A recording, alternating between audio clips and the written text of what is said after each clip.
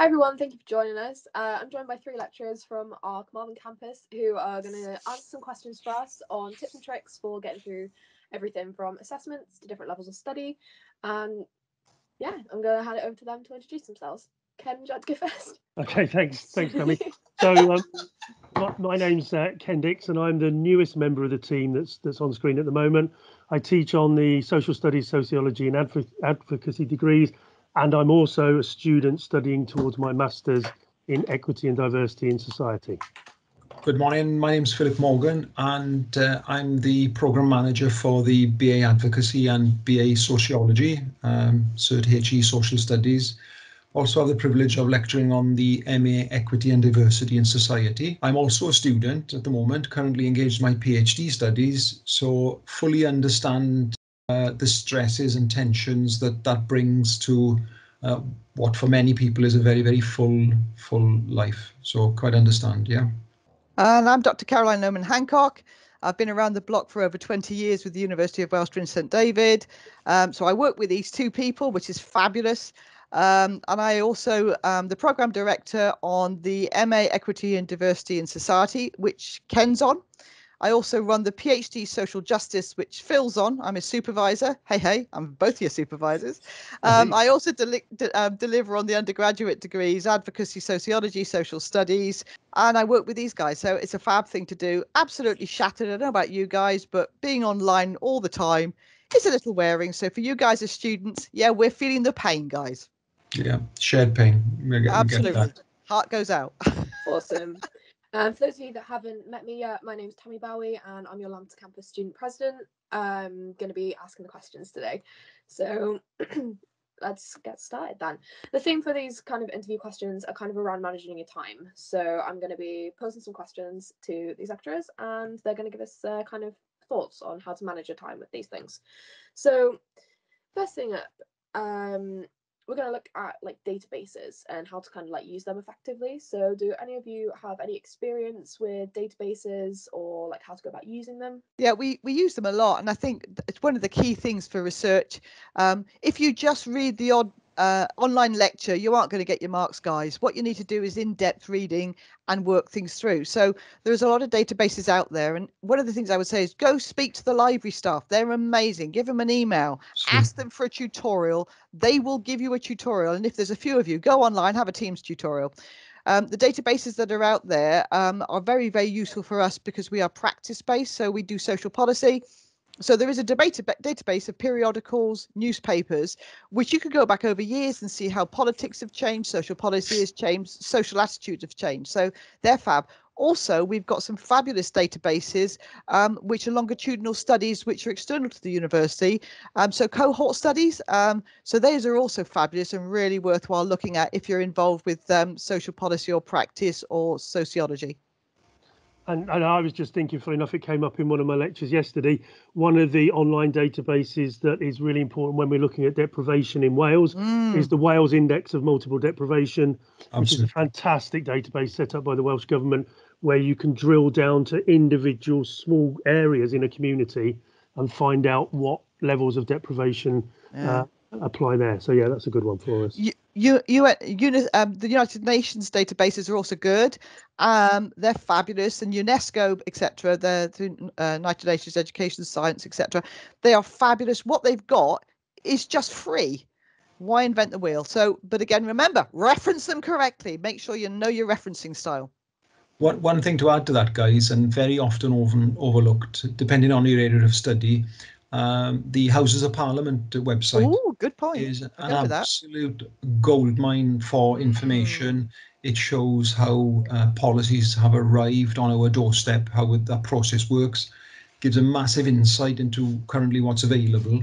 So sometimes thinking beyond the uh, the periodicals and, and drilling down into what our statutory organisation databases can provide a massive uh, resource as you know, with with many programs, there's a, there's a mix of uh, theory, policy, and with us definitely practice. So in that golden triangle, uh, it's really important to to piece things together and to look at different databases on each corner of that triangle. So oh. theory, policy, practice. Caroline, yeah, absolutely. Yeah, I was going to say the other one that goes with that is Ipsos Mori. Ipsos Mori is amazing, absolutely fab. So Ipsos Mori is really worth. You can go in, you can run Excel sheets, you can take the data out, you can produce graphs.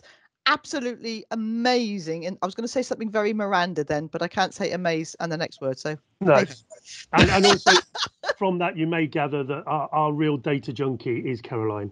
it's Absolutely. fabulous. Numbers are our friends. Well, clearly our team have a lot of experience with databases and stuff. So if any of these sound great and you want more information, I'm sure they'd be more than happy for you guys to get in contact with them. So Yep, please feel free to do that. Absolutely. Uh, we're going to move on so we don't turn this into a four-hour video. uh, we're going to take a little look at assessment types. So um, what I'll do is I'll bring up a kind of assessment. Um, if you have kind of like a golden rule or a bit of advice that you'd like to give, then please feel free to chime in. So the first one that we've got on our list is essays, which is the standard like bear of every single student who has to write an essay. Uh, do different length essays have different expectations? How does it kind of work?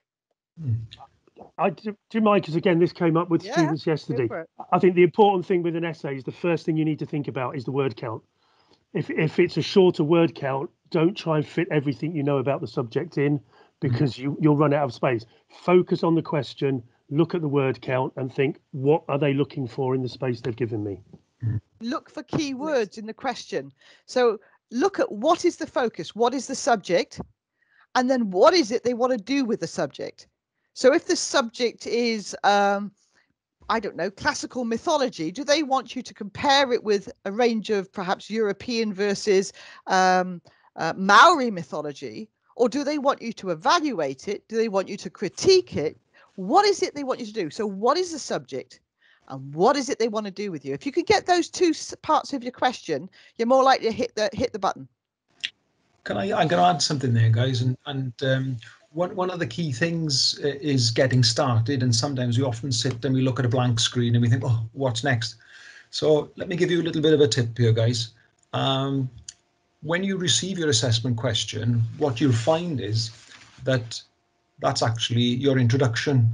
So when the the assessment criteria says critically evaluate or discuss and describe, and then it sets out the question, in a sense, that's your introduction. This essay will, this submission will, and then you're, you're almost restating the question. If you then sprinkle into then that uh, introduction, the learning outcome that's required from within the assessment, then that's your that's your introduction done. So we've written it for you in a sense. I know, aren't we good? That's amazing. yeah, so the question and the learning outcomes are your introduction. It is also your roadmap through the essay. So if you keep referring back to your essay, then uh, to your essay indu- introduction, now then key things happen here, guys, is that throughout your essay, you will build from the introduction, you will have key points in your essay, group those together, bring them to a conclusion as opposed to a summary, which there's a separate difference there. And then that's the point of your spear. So if you think about it, you've got the weight of your argument, and then the point is where you get to. Caroline, come on, you you you Yeah, you I- Caroline, come on. yeah, i was going to say it's, it's i get excited about this because when you tell students they go oh is that what it is then oh it's really easy yeah. conclusions are technically or usually the worst bit of a, a, a, a student's assignment um, i've got a sort of a bit of a rule I, t- I tell students. A conclusion is a so what who cares what next? And what that means is the so what is brief resume of what you found out.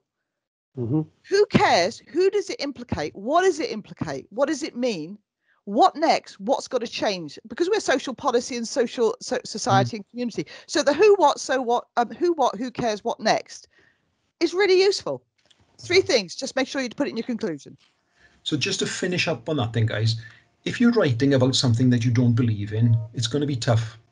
So what we as lecturers try and do is to stand on your academic foot so you're annoyed.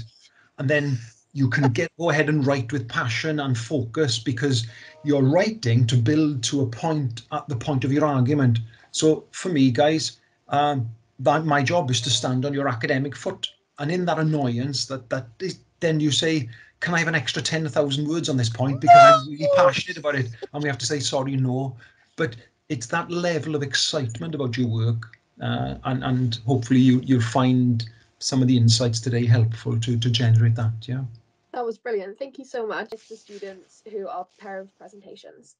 Okay, yeah, th- this is a really interesting one because it's it's part of the employability theme that runs through our uh, our whole course. Um, most people don't like giving presentations, certainly when they're first asked and we first tell them this is what we want you to do. I think the, the key thing is even if you don't like it, you will be asked to do it in the future as a job interview or even as an academic when you have to give a presentation at conference. So get used to it. Yeah, you we're supportive, your fellow students are supportive as well. Take the opportunity to practice, take the feedback, look at the feedback, and by year three, you'll be thinking, do you know what? They're not giving me enough time to talk. So what's, what's really say, interesting at the moment is is that our students have gotten used to delivering face to face. Beyond that, they've recorded videos and submitted those, and then we're now moving forward to live streaming seminars. So these skill sets are extremely important in the workplace. The people that we meet in practice as practitioners, they say, wow, this is amazing. This is what we need for our client bases. So um, my tip here would be guys, when you come to present, breathe both in and out. if, if you just think, plan and prepare, rehearse, you, you'll be fine. Trust yourself, and we'll support you to get to get better. I'll add a couple. I'd add a couple of things about that as well. Is think about all those people that bored you silly when they spoke. Some that spoke really, really fast and they didn't know you were there, and they just went on. Others who just droned when they talked to you about their lectures. Try and not be them you know, show your enthusiasm. Also, keep your head up and look at the audience. If you're sat behind a piece of paper, believe me, eye contact's gone. Um, and actually, just think these are people. They're not divine. They are mortal in front of you. They are human beings. Do you know what? Chill um, and enjoy it. Have a blast. Amazing. I think that summarized presentations really, really well. Thank you all for that. Um, kind of just want to move on to the dreaded dissertation. So, do you have not any advice? dreaded? It's fab. No. I've written one recently. Guys, let, let's get a grip of dissertations now. Look, you've tr- trust yourself, okay?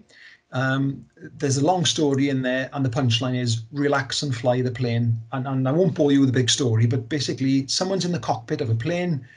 They've had a few flying lessons, and it's okay little post-it note here to say put the flaps and to make sure I got the speed and, and the elevation of the plane right.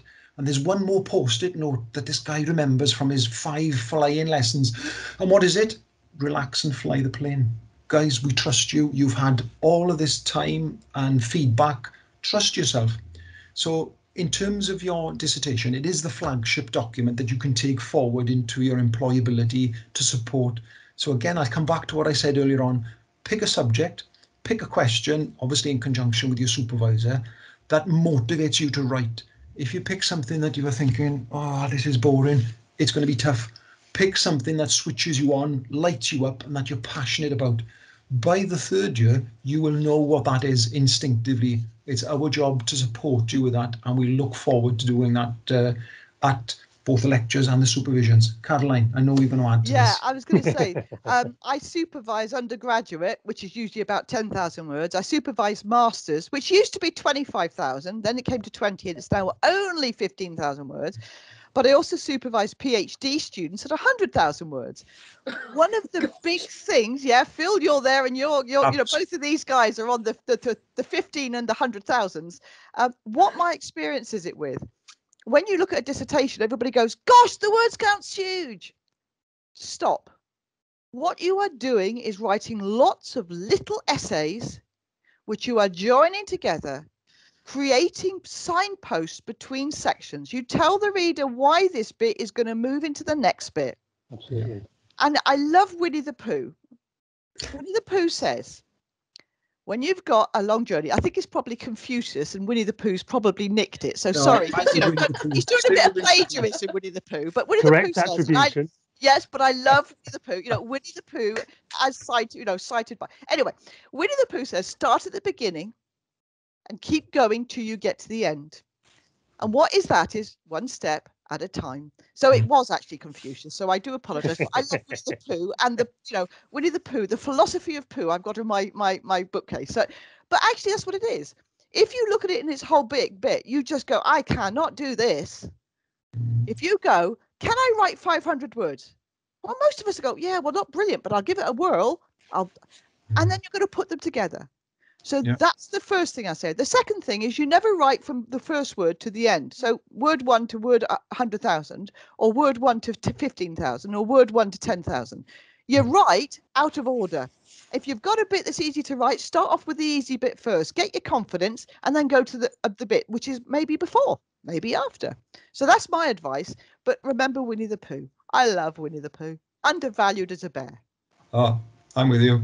So, guys, basically, what Caroline's hinted at there is very often you can start in the middle, start with your literature review and exploration, and then by the time you reach the end, you go back and write the introduction. So, there are ways of writing that seem illogical, but they're very sensible. And of course, during the um, the preparation lessons and lectures for um, for for your dissertation class, we're going to be talking through this. We're going to be talking through everything from your proposal through to the ethical approval that's needed, right the way through to uh, managing your progress throughout your dissertation. So we have the privilege, and, and trust me, it absolutely is.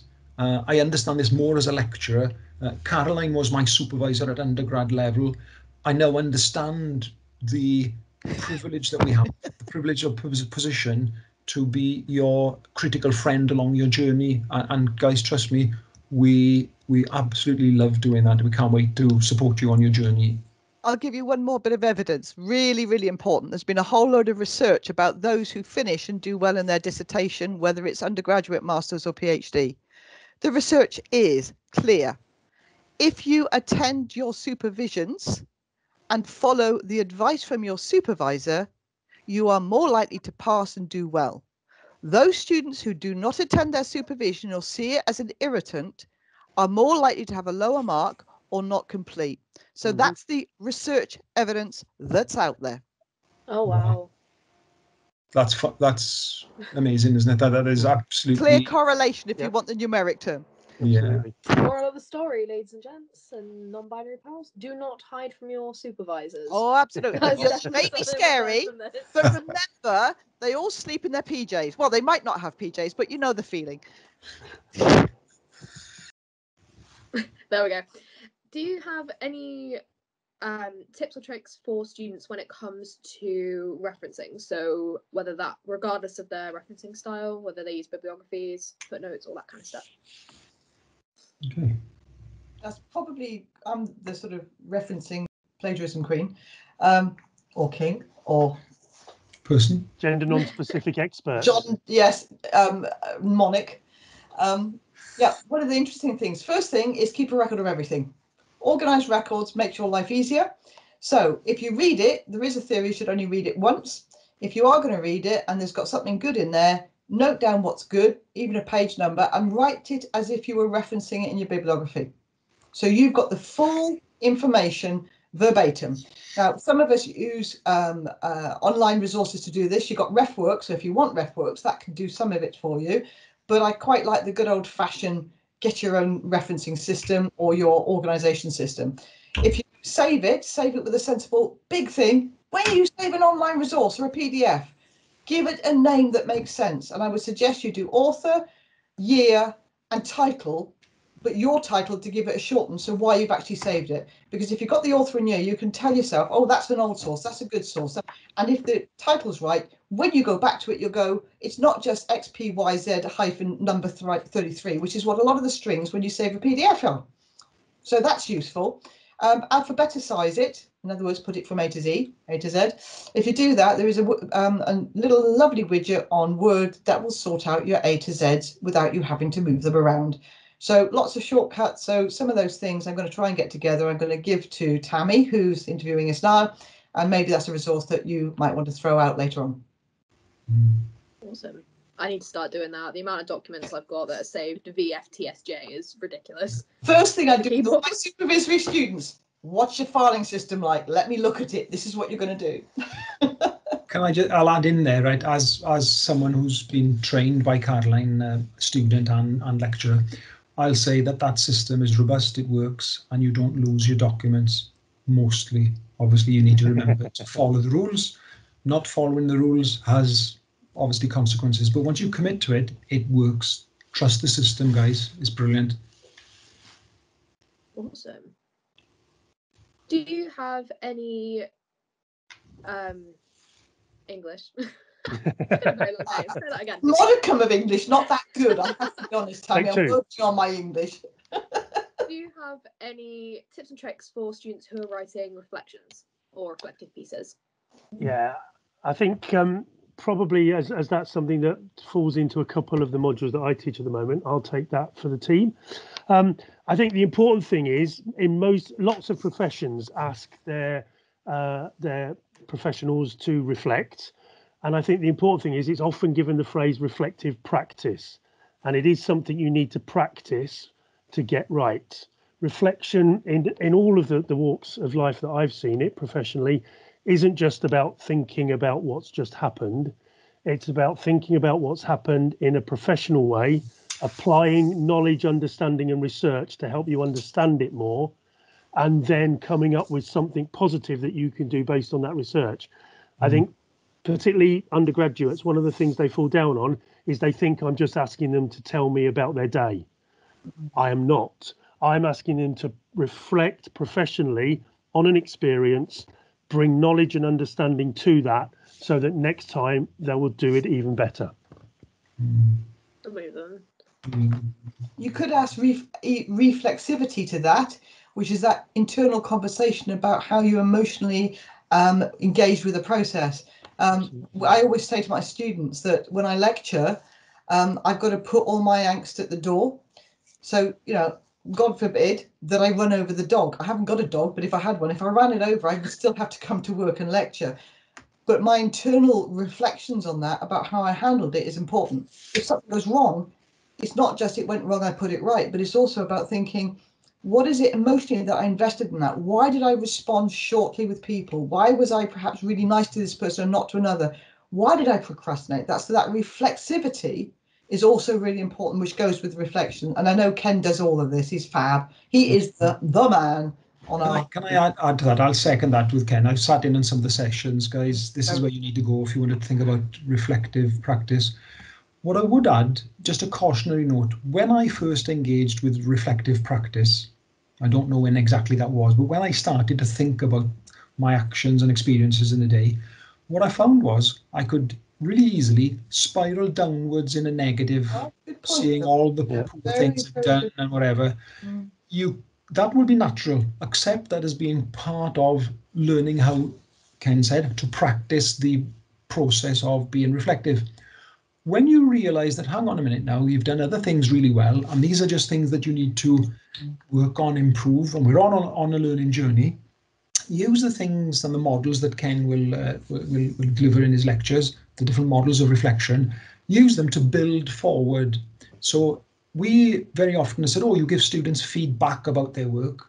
No, we give students feed forward.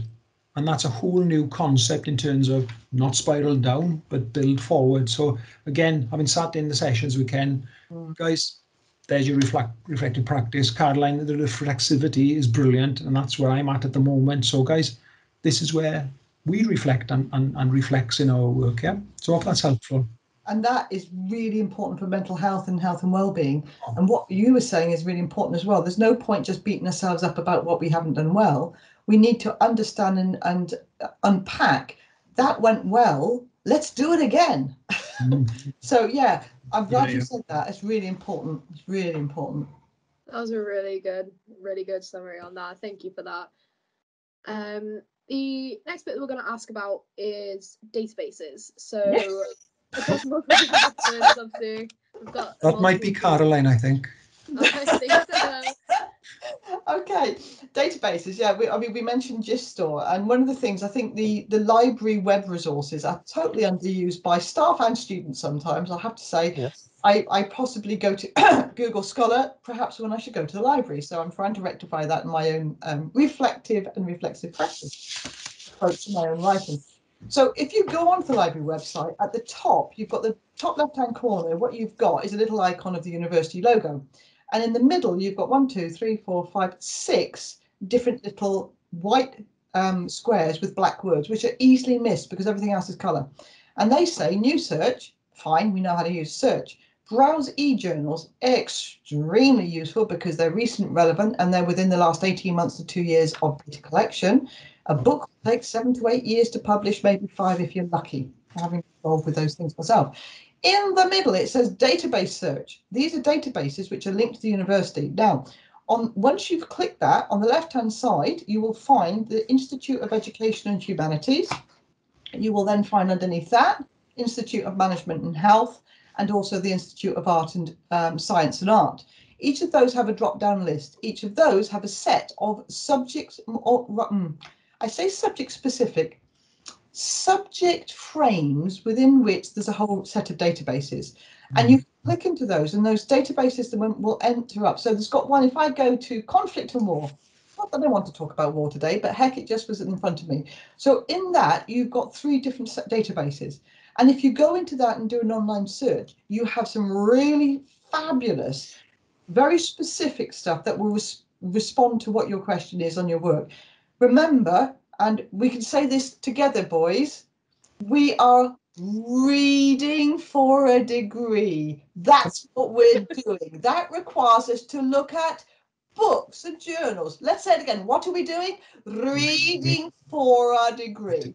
So sometimes what we think we're doing is searching the internet. We're not, we're reading for the degree. So that is fabulous. One more, which is fabulous for anybody who's interested in um, the social and the community world, and that might be any of you guys. I have you, you, you might think of classics as just being classics. Classics relates to the world.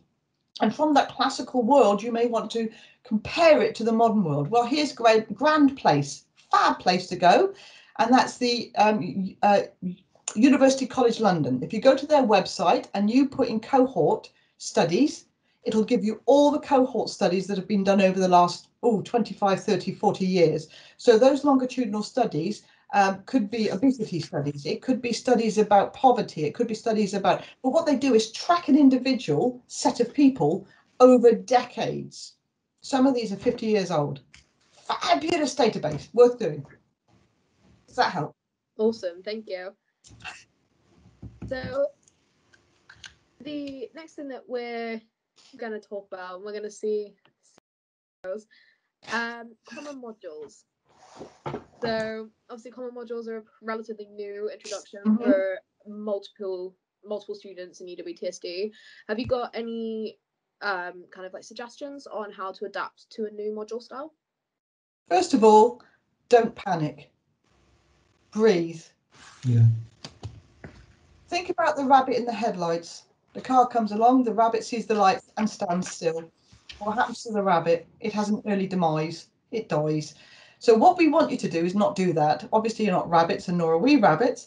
Um, but certainly when you see something that is quantifiably different, your first response is flight or fight. And in academia, it's frequently flight. So what are we going to do? Breathe and trust your tutor big one. Trust your lecturer to talk you through. When they say, don't worry about this now, we'll do it next week, trust them and focus on what they have asked you to do. Um, one of the big things about all the modules um, is they have a set of tasks one needs to complete.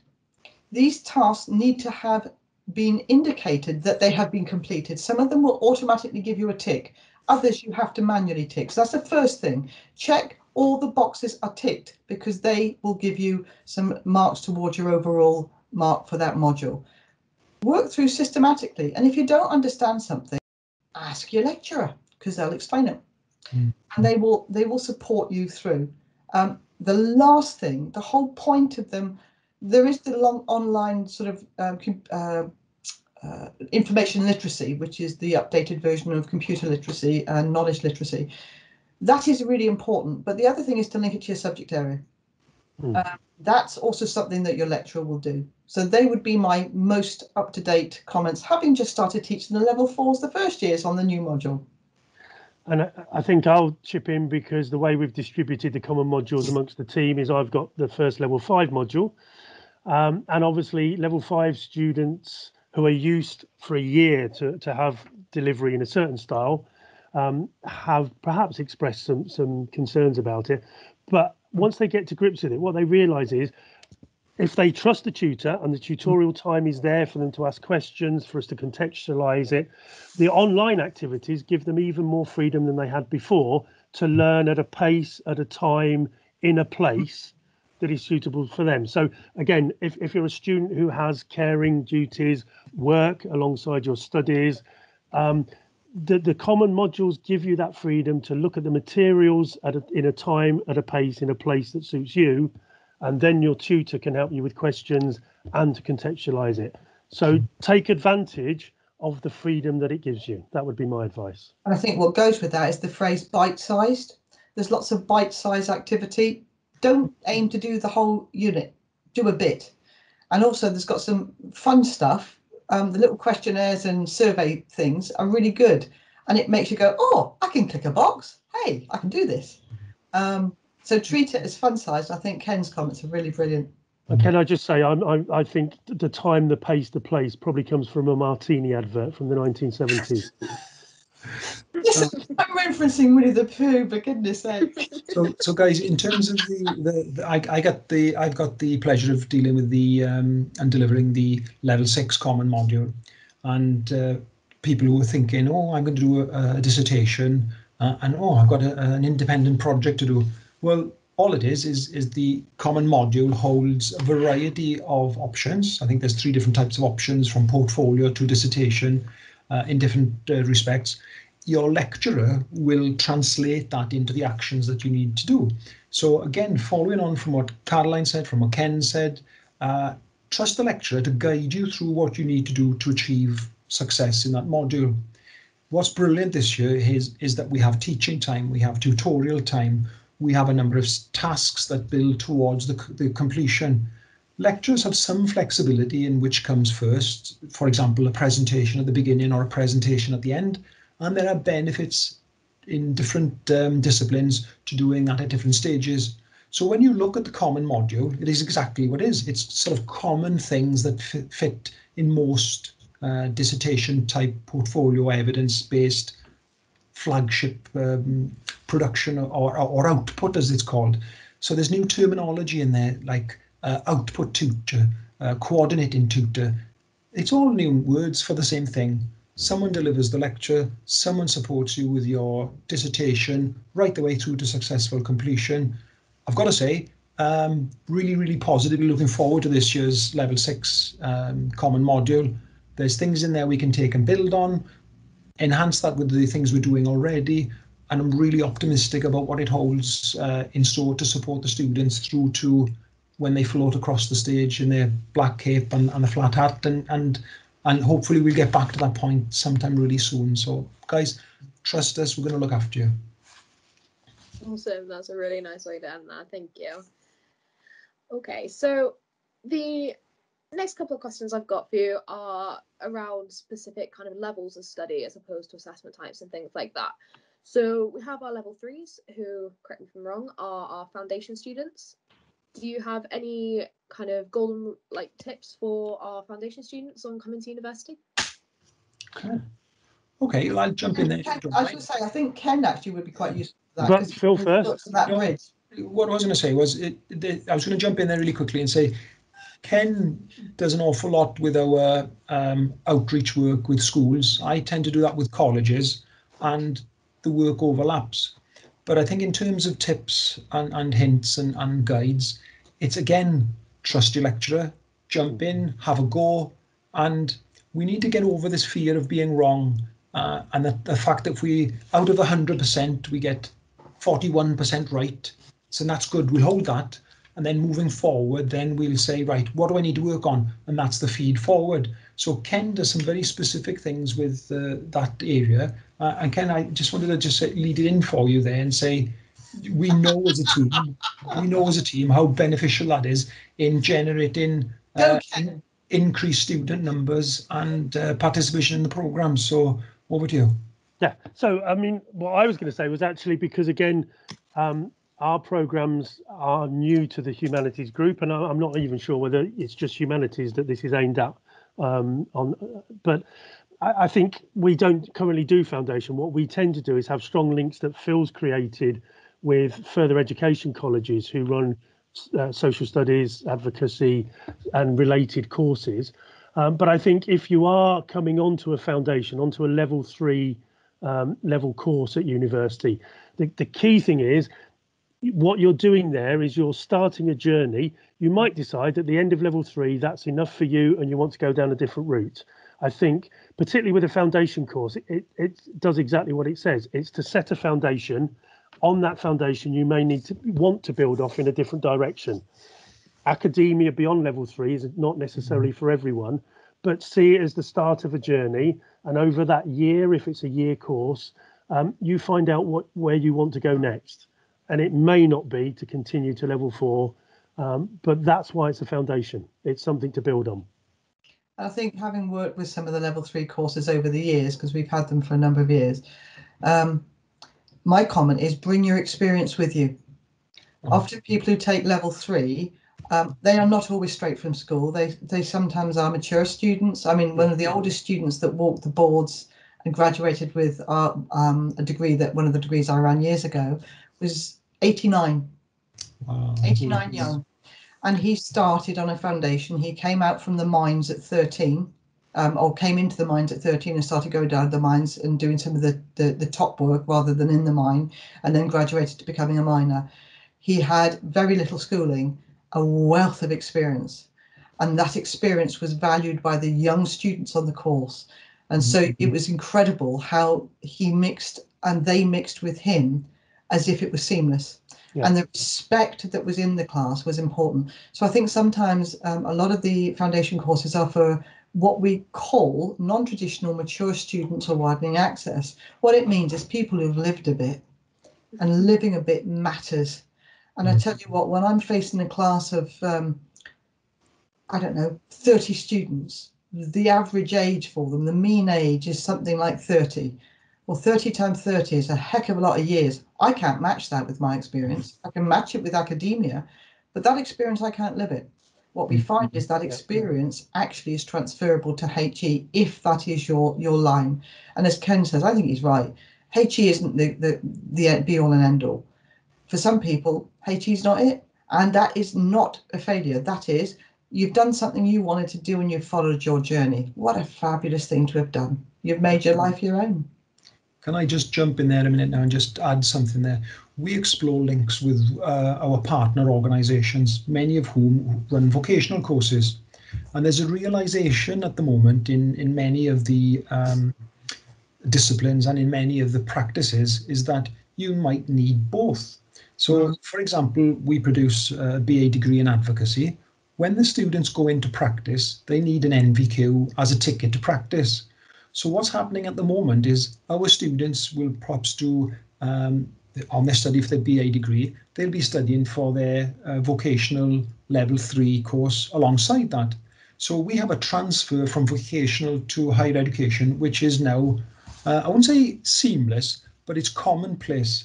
And we're working on the moment on partnership agreements so that there's that interface between the two in recognizing that having the academic qualifications may not support practice only, and practice only won't get you the manager's job, or may not, or may. So there's this appreciation for what practice needs for you to have a ticket to practice, but then the benefits of enhanced performance from the higher education.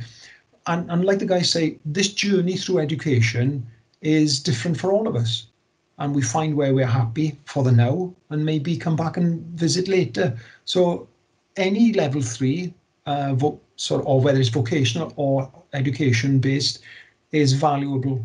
Build that with experience, do a bit more, and everybody's journey flows at a different rate. So um, as someone who joined higher education at 50 years of age, I'm going to say, then the sky's the limit. You go where you want to go. Yeah absolutely. So embrace it, guys. Amazing. We're going to jump to the other end of the spectrum a little bit now. Have you got any advice for students who are potentially moving from undergraduate to postgraduate study on adjusting to the jump, anything like that? Okay, first of all, the undergraduate is a little bit more, as I say, I've run masters, I've run master programs for, I don't know, 18 years. Um, and I also am responsible for the PhDs for social justice, so um, that postgraduate um, research level as well. We've had students that have come in from undergraduate who go to on a master's. What are the requirements? We usually say a 2-1 or above. Two twos are often considered a non-traditional, and particularly for our subject, we actually consider non-traditional. We'll ask you to do a task which is written, even if you haven't got a degree it's we ha we have to put you through that to ensure that we are not um, putting you forward to fail. So what is requirements? Um, I think the difference between undergraduate and masters, you have the potential at masters to begin to create new meaning and new knowledge. In other words, you are starting to develop new knowledge for others to read and to consume. Um, does that mean that undergraduates don't do that? Some undergraduates will with their dissertation collect data. The Masters or the MRes, which is another one, which is a Masters in Research, or the MPhil, or the MSc, um, again, there's, there's the science side. What we want is somebody who's highly motivated, who can time manage. Now, one of the biggest um, things that impacts upon people not completing or not completing their degree well at master's level or um, a PhD is lack of time management and focus. You mm. have to want this. And the phrase I would use is you need to be hungry. You go, you go, I want this, and it may not be for a job, it may be for me, but a job may come out of it. Mm. So having that that absolute a little bit of OCD isn't a bad thing. Doesn't mean that people without that can't do it. No, of course you can. What it means is you've got to want it, and it's going to cost you time wise, and it's going to cost you um, effort that you will have to do on your own. There will be talk components, but there will also be a lot of work that you do independently. But I love it. I've done a couple of the darn things at master's level because I quite like doing things like that. Um, the joy of seeing students progress from undergraduate to masters is fab. And sometimes the not as strong academically do better at masters because they're determined. And the really academically able don't want it enough. So it's not about just ability, it's about who you are and what you want to analyze.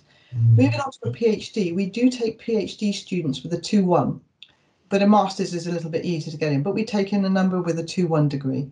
So that is usual. Will we take somebody without a degree? Occasionally we do. And particularly in classics, you may have a professional, not classics, sorry, humanities, you may have a professional qualification. Um, so we have theologians that perhaps are practicing in, in the um, um, their local church or in their um, diocesan or whatever that may not have the formal traditional degree. So there are opportunities to move into this without. It is more difficult, mm-hmm. but certainly a first degree is ideal. A master's may prepare, prepare some because you're beginning to create new knowledge. Um, so determination, organisation, and you remember what I said earlier if you listened to the previous one, those that work with their supervisor and attend and keep in regular contact and, and listen and um, transfer that to their work are more likely to succeed. That's what the research tells us. The data tells us that if you keep in touch and you do the work and keep on task, you will get there. It's a pleasure to supervise masters and PhDs. I always feel as if I'm actually being paid to do something I actually enjoy. Um, it is an honour to walk side by side of people creating new knowledge. And I just go, what, what an honour to be able to be part of that. So as a supervisor and, and res- manager of research degrees for the humanities, yeah, what a what a fabulous job we have as lecturers. Absolutely, absolutely. Amazing. Okay, so the next question I have for you is actually around study support and the kind of different types of support that's available for students.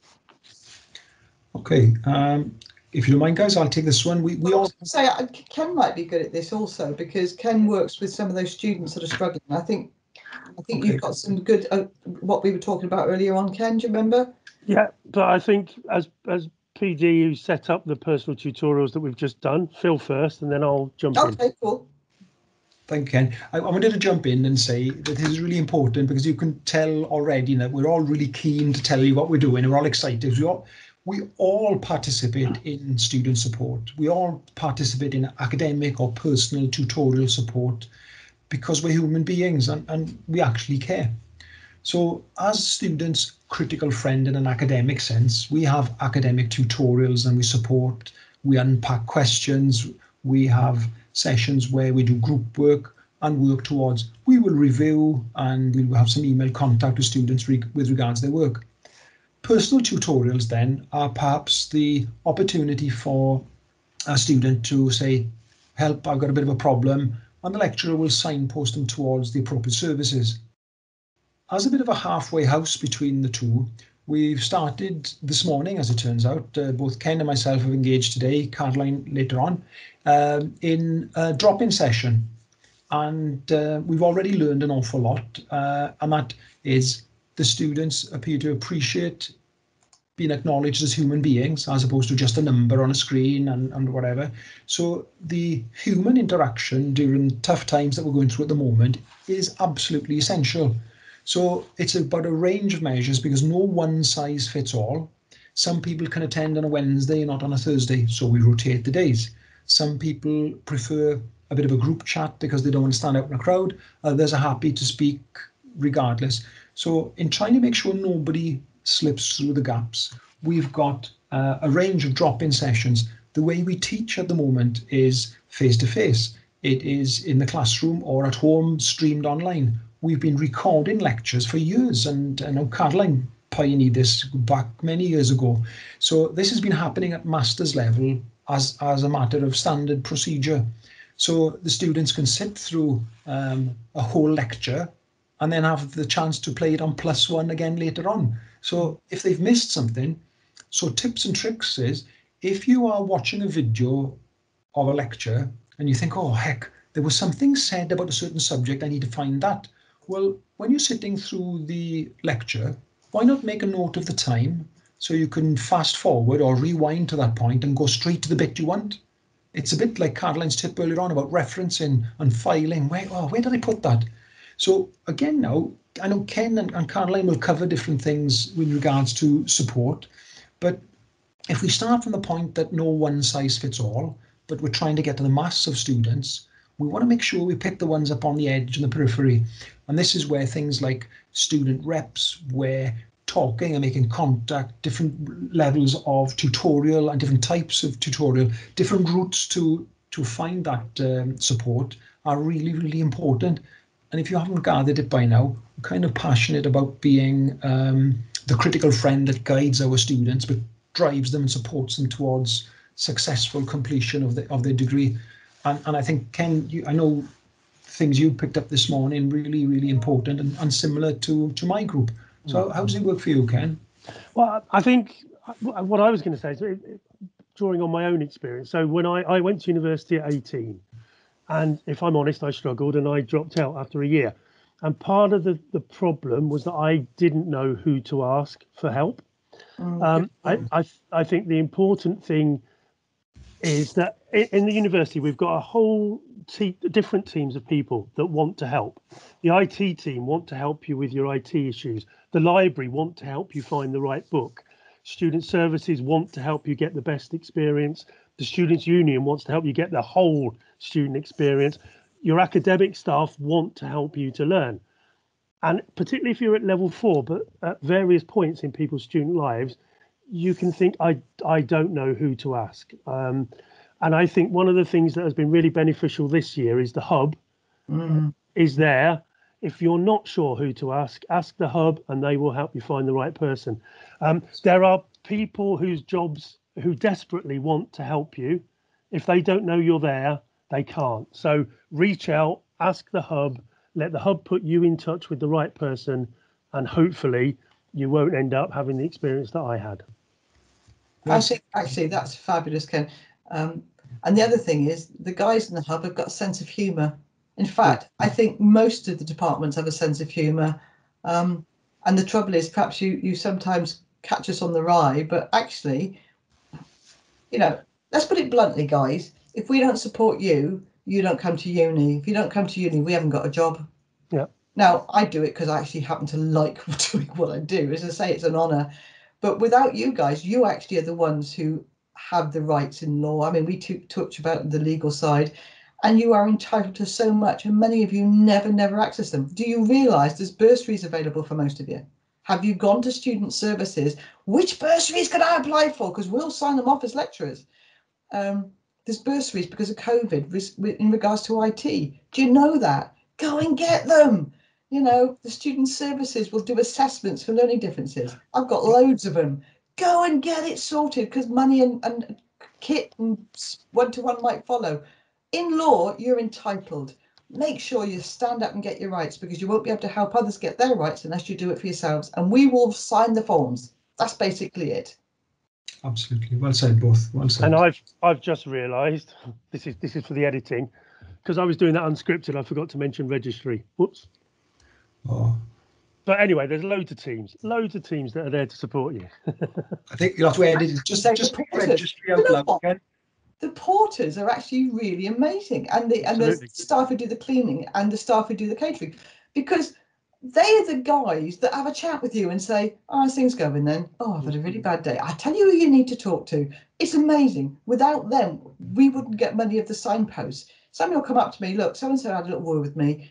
Oh, do you know? I didn't know that. Thanks. Are they are they happy for me to know? Yes, they have. I've asked them because they also do the GDPR and the data protection. But they are signposters because they are the people on the front line. And I tell you what, I don't care whether you're the cleaner or the vice chancellor. We are a team that does it together. You know, you know, we're all trying to land a man on the moon in that sense. And Uh, really excuse me, person on the moon. Well, it was said a man on, of its time, so I'm quoting of the time. But now it's a human being of its time now. So, but the point being is, is who, when you go and visit Disney, who do you ask for directions? And this was one of the questions that have come up before. And you ask the guy or the girl or the woman or the man or the person who's sweeping up the rubbish on the floor. And the truth is, they're not sweeping up the rubbish on the floor. They're actually there to help, but in, they're in disguise. And this is the clever thing about Disney is that these people who, oh, I'll ask the cleaner or oh, I'll ask the porter.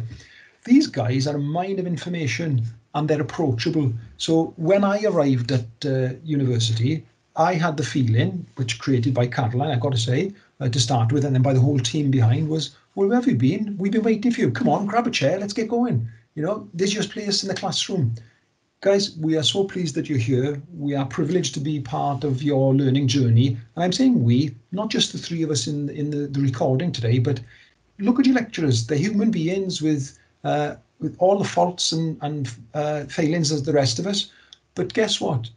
Maybe not perfect human beings, but perfect intentions. So we are intent on getting you across that finishing line with the best possible degree that you can achieve. And, and guys, wish you all the best then in your careers from there. So that's a genuine desire on, on everybody's part. So Caroline hit the nail on the head there. What is this place without you? We need to look after each other and be kind to each other, and then we'll all make it over the finishing line at, at some point in time. So, guys, enjoy your learning journey. That's awesome. That's a really nice way to end the support one. So, the kind of last question that I've got for you really is if a student would like to continue past postgraduate study and eventually lecture, do you have any advice? Well, funny enough, I made the tactical error of looking at this person called Philip Morgan in this video and going, hmm, he's going to give me. Actually, the, the, the thought that came through my mind when I first interviewed Phil, um, as I say, um, Phil was a student originally, okay? I met Phil and I thought, he's got an opinion, he cares, he's passionate, he's hungry for learning. He's going to give the class a run for the money. Actually, I hope he comes on the course. He came on the course. He did give me a run for the money, I have to say. But why did he move on? Well, straight away, um, when he was at university, I had some research projects, and and I had to have a, a researcher. So only paid job. It's not expensive, not not a lot of money, but he got involved with some of the research. So straight away, he'd upped his credentials because now his portfolio was he was doing his degree and he was actually a research active. A job came up, and I suggested he go for it. And I said, what you need to do is A, B, and C. And so Phil eventually became a lecturer here. This has happened time and time again with students I've had. I mean, there's a lot, I was about 15 members of staff I've lectured over the years um, that were students, and they are homegrown. One of the things that is there is you need to demonstrate that you're um, professional, that you have sustainability, that you have a respect for being there if you've got to be in the lecture or being online if you've got to be online to submit in your work in time have an inquiring mind i always say that one of the things which is really important for a lecturer or a researcher is to be systematically nosy Mm-hmm. I'm teaching my level sevens, my masters this weekend on research methods, and I have it one of my slides. Systematically nosy, or is it a research academic? They're the same thing. The same. So, so one of the things I would suggest is take every opportunity, be a student ambassador, get involved with any research projects that are there, even if you are volunteering to do. Get involved with going out um, and working with the lecturers on projects, whether it's archaeological digs, whether it's taking a trip abroad with humanities, whether it's coming to do some research work, whatever it is, get involved. The extra mile matters. Um, so with that many students that have now become lecturers, I find it very humorous because I look at them now and some of them got a really senior position. I'm going, hey, I was part of that journey. Isn't that fab? But mm-hmm. consistently, it was they were, when I say a good student, it doesn't mean to be the best student, guys. A good student and the best student is a different thing. A good student is a reliable student. As I say, I have very, you know, over the years, some very intelligent students that are absolutely gifted on ability to write but they're what I call dissolute. They don't commit. So when they do it, they get a 90. But when they don't, they don't submit. Mm-hmm. Give me a student who is a solid 60 to 70, who is consistent and reliable, who, when given a responsibility, takes that on, who demonstrates in lecture they can actually hold an academic argument. I want, and I know the three of us do, I want someone to come into a lecture and, cha- and challenge me. Oh, I don't know if you're right, Caroline. Great. Why don't you think I'm right? Well, I looked this up and that. Let's look at the argument. Now, do you know what? You might have a point. I'm going to go away and research. Let's come back next week. And the class benefits. That's the mind that we know that when they come and be a lecturer, they'll do their homework. They will continue to research. They will continue to keep up with their subject area. Um, and the biggest thing is have a passion. Does everybody who do that get to be a lecturer? No. But there are other jobs also that are there. It might be working in an international office. It might be working in registry. It might be working. You will be surprised. And to just say the last thing is that um, I was a student at university too, in University of Western St David 22 years ago. So there you go. Um, yeah, isn't that interesting? Um, and I got in because I was doing a master's. I got a call back, Caroline. I okay, I did several other things as well. And again, I was one of those students who did things and I was inquiring. Got a call back. You want to do a master's? You're really determined. I've, you know, heard a lot of people say that you are determined and you really want to. You know, you you will you will do it even if it costs you, and you're reliable. Would you like a job as a research assistant? So I came in as a research assistant, exactly the same as Phil. And then within two weeks, uh, would you mind lecturing? And I had to then we had to type out research papers every week, guys. No PowerPoint, no internet. We every week we had to do a fully referenced research paper, right? Uh, and you got three lectures on things like sociolinguistics. I'd done a bit, hadn't done a lot. I had to work my butt off to do it, but they knew I would do it because I'm systematically nosy. And I, I think there's there's one, one thing I'd, I'd like to add, and interestingly, this is pertinent because this morning in the post, I got my level two uh, certificate from City and Guilds in independent advocacy. Yeah, we've was all taken that, haven't we? which was, of course, the three of us sat together as a small module, but at level two in advocacy skills. And it reminds me of something I was told when I trained to do my PGCE up in Bolton.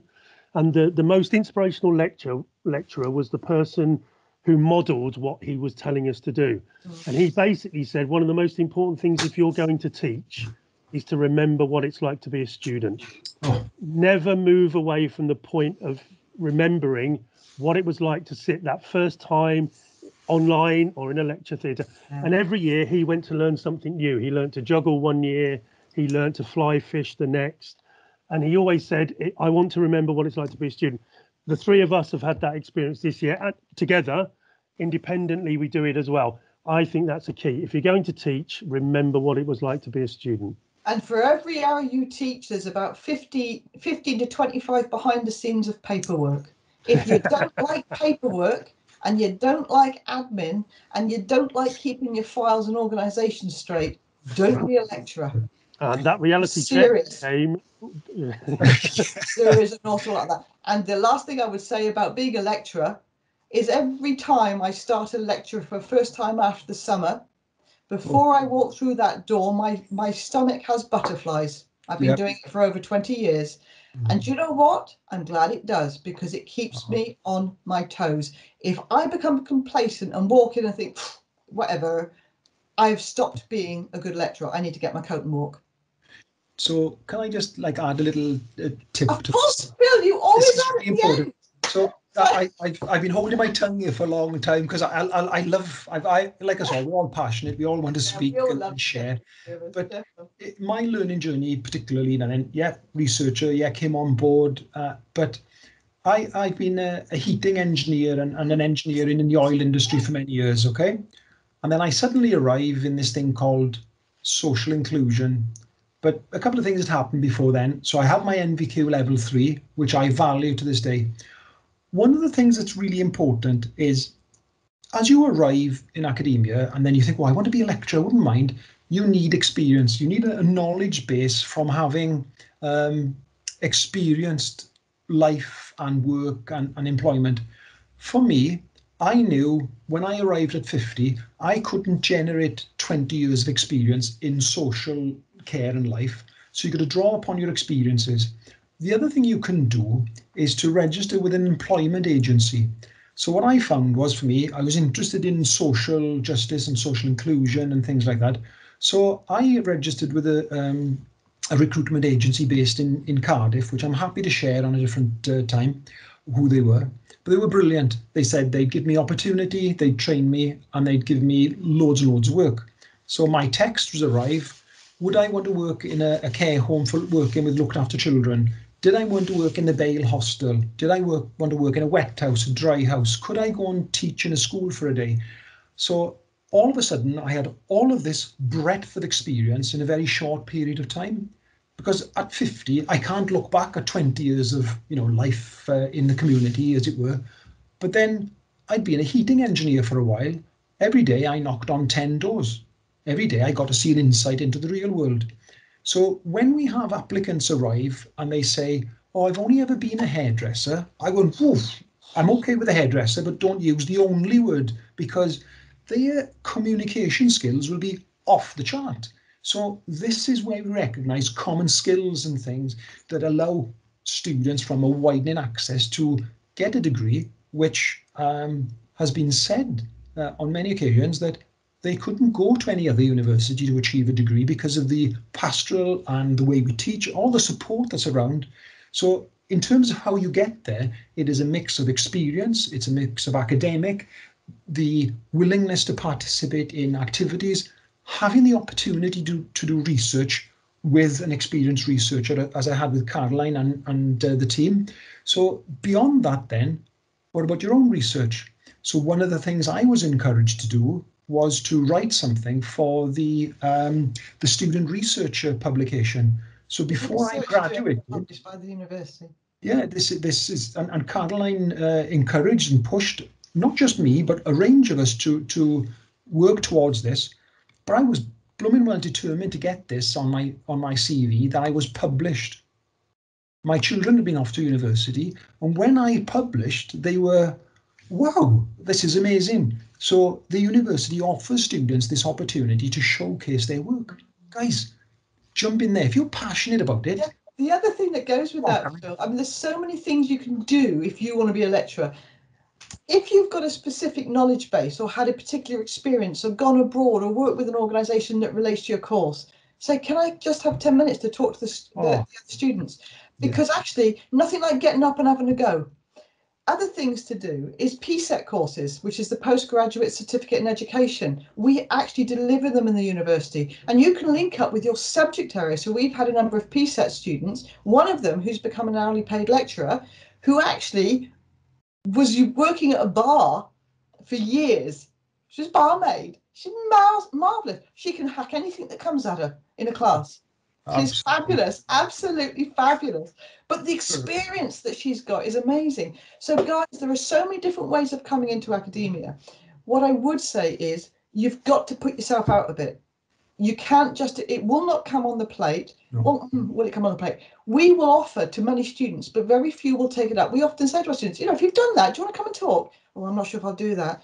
And you remember that we were talking about seminar presentations? Well, that is a really good thing to practice doing your lecture because a seminar presentation, you are speaking in front of an audience. So if that's what you want to do, make sure you do your best and practice on your seminars. There's so much you can do. And also the other thing, which is what Ken would probably tell if because if we gave him a chance, is Mark in Student Services who does careers. Hmm. Have a chat with Mark. There are also research projects out there that if you talk to a lecturer and say, look, I've searched some research, there's got research project funding. Go and look for something that you're interested in. Have a chat to a lecturer and say, look, do you think I'm, I'd, I'd be interested in, if you would let me, to could you consider this research funding opportunity? Because the university has to run these things. But could we do it that perhaps you write me in as a research assistant? A bit naughty, but to tell you what, if a student come to me, I go, okay, it's a sassy one. I'll tell you mm. what, I'll have a look. Yeah. Because I'm a sassy one myself. okay. Yeah. But anyway, so there's got so many ways. Basically, just think about it. What is it a lecturer does? They have knowledge which come out through here, and they've got to be organised to do it. And care. If you don't care about your subject, for goodness sake, there's Yeah. nothing worse than a really boring lecturer. Passion and lived experience and qualification and Ah.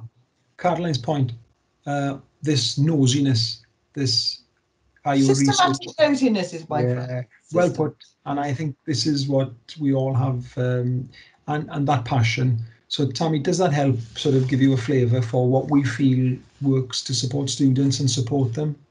Hi, absolutely. That was honestly brilliant. I didn't realize there was so many ways into um like lecturing and stuff. So I thought it was kind of a PGCE boom boom boom carry on that way. So that's Yeah. really interesting. So it is an option once you finish your undergrad studies to go to MA. That's natural. Some people go to PGCE and then the MA later. So you know, some way, different ways suit, suit different people, their needs, and um, you know, we're just happy to support and be there. And it's fun. We cry Oh. sometimes, but we laugh often as lecturers. Yeah. And that's about sums it up. There are moments when we go, no, Tesco's. Sometimes, sometimes the laughter is hysterical, but we do Oh, it's- laugh it's as verging lecturers. on the hysterical. It's mental health week, guys. Come on. But we're still here after so many years, you know. So why do we do it? Because we actually enjoy it and we think Yep. it matters. It matters. Absolutely. And we all love technology, and my technology is now telling me that my computer's about to restart. So Is that enough for you, Phil? It It's said, shut up, Phil. someone make him stop, was it? Like, Caroline programmed it earlier. uh, are we well, done, that's Tommy? actually all the questions um I had. We've covered like most of the Right. topics and everything. That was awesome. Thank you So- all so much.